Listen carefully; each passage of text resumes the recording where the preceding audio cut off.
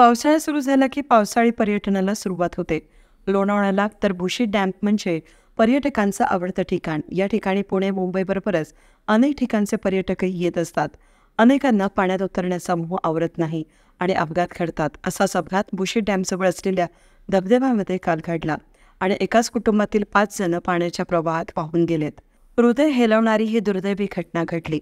वेद न्यूजकडून पर्यटकांना आवाहन करण्यात येत आहे की पर्यटनाला जाताना आपली काळजी घ्या धोक्याच्या ठिकाणी जाणं टाळा.